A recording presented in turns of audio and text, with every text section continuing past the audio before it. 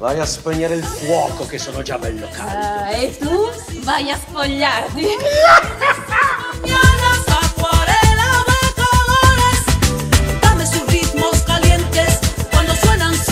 Dai, dai, spogliati su. Sì, eh, quella, quella degli abiti da sera. Che furbacchione! Eh, dai, dai, dai, dai, dai! Forza che cominciamo! Luigi, Cosa c'è? la cena. Meglio cenare prima.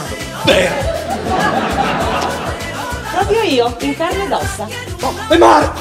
Ma no, non può essere lui, lui ha le chiavi di casa. Beh, insomma, chiunque sia fa in modo che se ne vada, non devono vedermi in queste condizioni!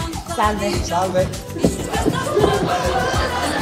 Tu rimetti a posto la cucina, io intanto mi rimetto la tuta. Andiamo! Allora facciamola finita con i postini, con le monete da ciclista. Sicuramente io ti sono altrettanto fedele quanto tu lo sei a me, tesoro. Tu, tu, tu, tu, tu, tu! Ah! Ah! Chi è? Bene, vado, altrimenti faccio tardi d'ufficio. Sì, eh. caro. Buona giornata. Anche a te. Non farà troppo tardi, eh, tranquillo. Nessuna fretta!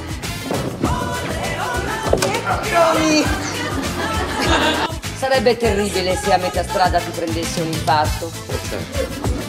Sarebbe terribile. Sai tesoro, se rientravi qualche attimo fa, avresti incontrato Vera. Ah, non ti aspettavo! Aspettavi, sono appena arrivata. Ma ciao! persona ti vedo.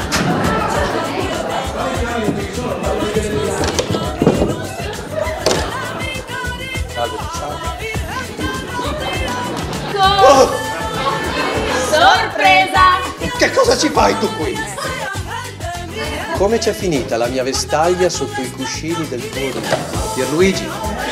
Pierluigi? Pierluigi! Casa, dolce casa! Come direbbe Vera, home sweet home! Un attimo! Facciamo una cosina veloce.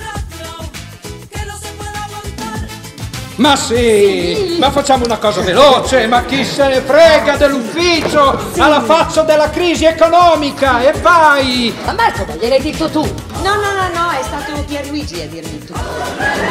Pierluigi, l'hai detto tu a tua moglie! Beh, tanto prima o poi l'avrebbe saputo. Eh.